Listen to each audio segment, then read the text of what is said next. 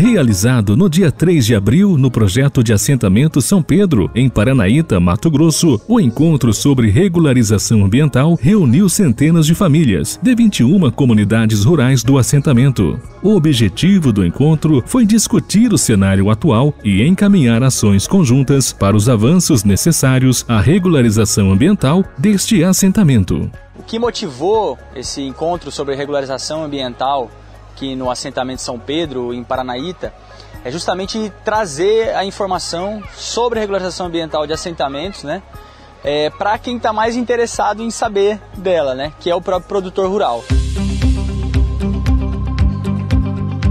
Em uma parceria da Cooperativa Mista de Agricultores do Assentamento São Pedro, Comasp e Instituto Centro de Vida, ICV, com o apoio da Prefeitura Municipal de Paranaíta, associações comunitárias do assentamento e parceiros, o encontro contou com a presença de representantes do IBAMA, SEMA e INCRA, que abordaram a situação do Cadastro Ambiental Rural, CAR, a recuperação das áreas degradadas, embargos ambientais e outros assuntos relacionados. Um evento evento como esse a gente pode trazer uma informação direta, sem intermediários, a gente falando diretamente com eles, trazendo a informação e, e uma informação atualizada, né, o que é principal. Às vezes eles têm a informação, mas a informação está em constante mudança e é uma oportunidade de a gente trazer uma informação de qualidade e atualizada para eles. É interesse do IBAMA que os assentamentos e os lotes de assentamentos estejam regulares do ponto de vista ambiental né, para que os, os assentados também tenham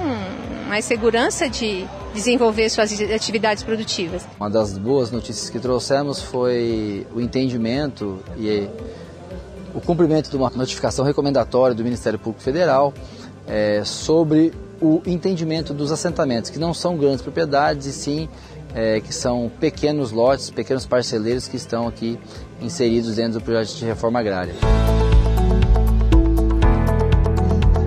O Observatório do Código Florestal, iniciativa de mais de 20 organizações da sociedade civil que acompanham a implementação do Código Florestal, apoiou o encontro e trouxe informações atualizadas sobre a legislação ambiental no contexto dos assentamentos. A questão dos assentamentos de reforma agrária, ela é mais complexa, tem ainda uma discussão de quem será o, o cadastrado, de se esse cadastro vai ser feito é, lote por lote, quem é a responsabilidade por realizar esse cadastro, ou se esse cadastro vai ser feito é, por perímetro, perímetro inteiro do, do assentamento.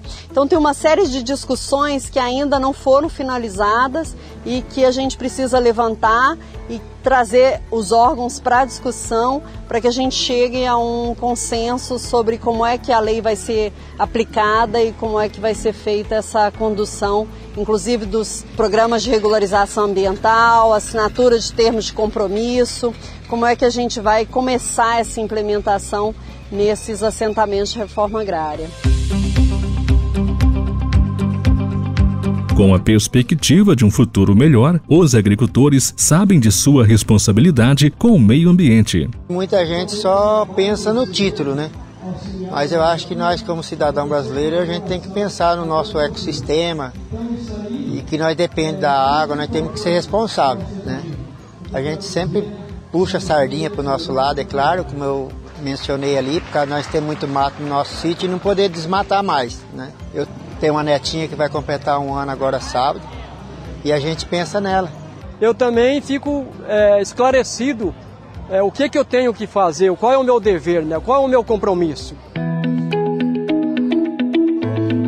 Em meio a muitas dúvidas e questionamentos por parte dos agricultores, o objetivo do evento foi alcançado. Hoje, saindo daqui, é, de forma mais clara para o produtor rural como que encontra o processo de regularização ambiental do seu lote, né, do seu assentamento, o que, que os órgãos estão fazendo né, e o que, que os, os projetos e parcerias que estão trabalhando aqui no, no assentamento é, podem colaborar né, para que o assentamento se regularize ambientalmente e possa sim trilhar aí, uma trajetória de produção sustentável e de é, melhor qualidade de vida para as pessoas que aqui moram.